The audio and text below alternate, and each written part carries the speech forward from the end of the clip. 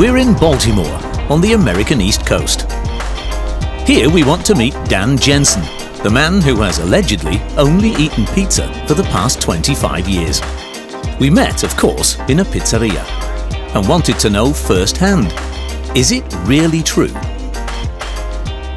I've been eating pizza for breakfast, lunch, and dinner every day for 25 years. 99.9% of my diet is pizza and cheese pizza. I don't like toppings. Three cheese pizzas per day. That surely can't be healthy. Although we have to admit that the 40-year-old looks in pretty good shape. Dan is aware of how radical his diet is. I'm here to encourage all kids. Um, you don't need to eat healthy children. You need to eat pizza. Pizza is a wonder food. You have your vegetables in the sauce, you have your cheese, which dairy, and then you have your um, carbohydrates for energy. So I know it's not good to have carbohydrates these days. There's sort of a push against it, but I say go for it. This approach has made Dan really famous.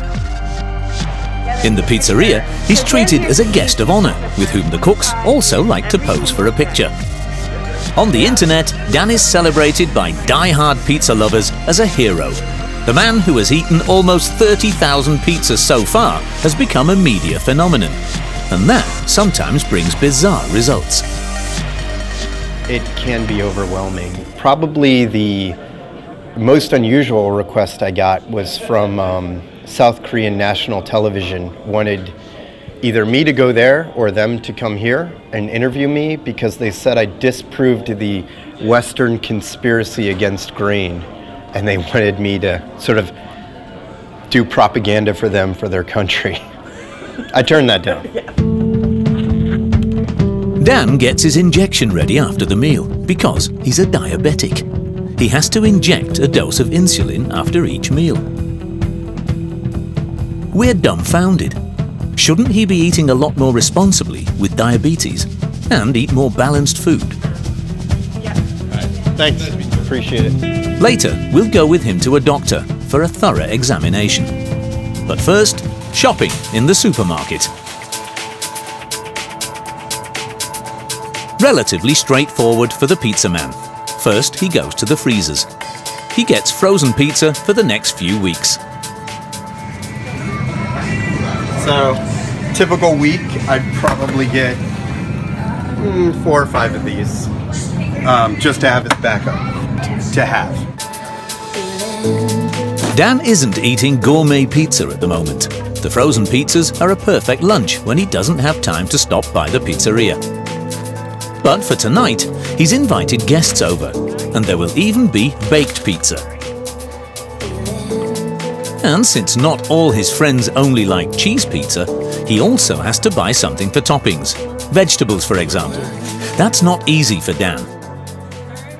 Um, the only one that I'm familiar with is the green kind of pepper. Okay. So I didn't even know they made orange peppers until right now. No, I would never, never eat this. Why? What advantage? This is just like Well, it's got vitamins. it's like eating a green sponge. I would never. eat that. okay. I can get my vitamins from a Flintstones. Slowly, we realize that Dan has a real problem. He's easily disgusted, especially by vegetables. Pizza isn't just his passion. He hardly likes anything else. Beyond that, his lifestyle is pretty healthy, by the way. As a carpenter, he spends a lot of time on his feet. In addition, he works out several times a week. This helps him in coping with over 4,000 pizza calories per day. Dan likes his pizza in a very American way. Lots of dough, lots of tomato sauce, and extra cheese. What he doesn't like is our version. All the German pizza I tried was terrible. Maybe they got their pizza game going. Maybe they've changed. Maybe I didn't go to the right restaurants. But I did try pizza in Germany, and um, the guy who only eats pizza for his, in, you know, for the past 25 years. When I was in Germany, I ate pretzels. The fatty American pizza is ready after 12 minutes in the oven. Up next come the vegetable pizzas for the guests. A difficult task for the man who is so disgusted by vegetables. It's a good thing that Dan's wife is here. She's a vegetarian and wants to help her husband with the preparation. A pretty tough affair. I think that's going to be gross on pizza, but I know the trend today is to eat gross things. So let's well, do it. I mean, what's gross to you isn't gross to other people. I know. It's. Madeline and Dan have been married for two years, and she's been trying to move her husband away from the exclusive pizza diet for at least as long. So far, without success. I w- at first I wasn't bothered by it at all, really.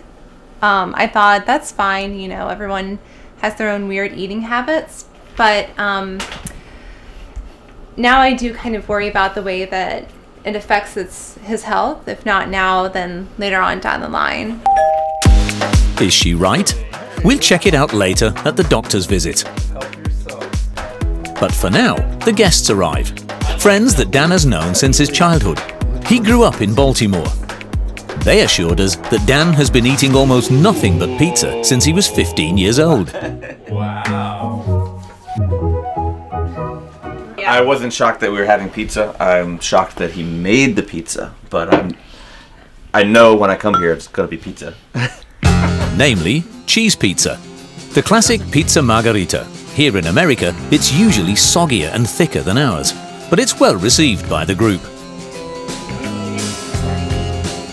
But what about the vegetable pizza?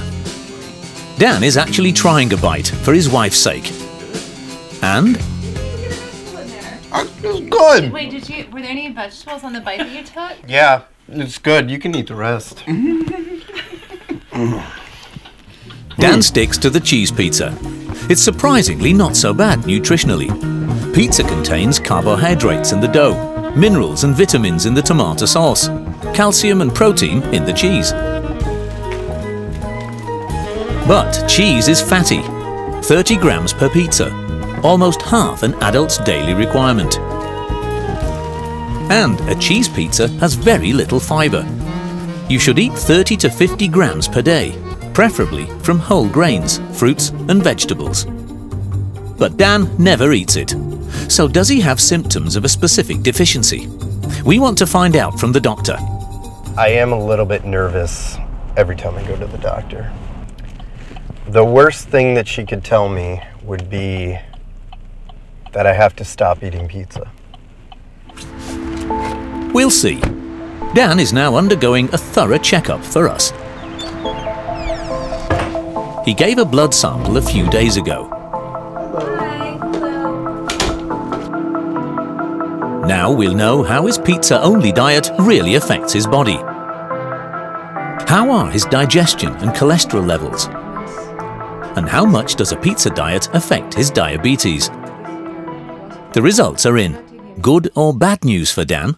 not a fasting. Right now, you know, as a 40 year old with insulin dependent diabetes, you're doing extremely well. It's not a vitamin complete diet. You are getting your basic energy sources there, and because it's a high fat food, that's probably helping you with keeping your blood sugar more stable. Blood levels and cholesterol, everything okay. To our surprise, Dan is very healthy. Nevertheless, the doctor gives him a warning. Doing this has been very helpful for him, but I wouldn't recommend this for um, for anybody unless they checked with their doctors. You know, it's very, it's a lot of um, fast foods, uh, high fats, unhealthy fats, and very low in, in vegetables. So vegetables are such heart healthy things. If you're going to do grains, doing whole grains. Conclusion A pizza diet almost without vitamins and fiber is not recommended. Dan is an exception. He's relatively young and active. As a diabetic, he has to control his diet. For him, such a one sided diet isn't wrong. It was sort of reassuring to hear that confirmation. And um, as she said, there, there are things that I can improve, things I can work on, but um, it was a relief. Now the Pizza King has no real reason to eat anything else. Will I ever get sick of pizza? I hope that day never comes. And if it does, put a bullet in my head.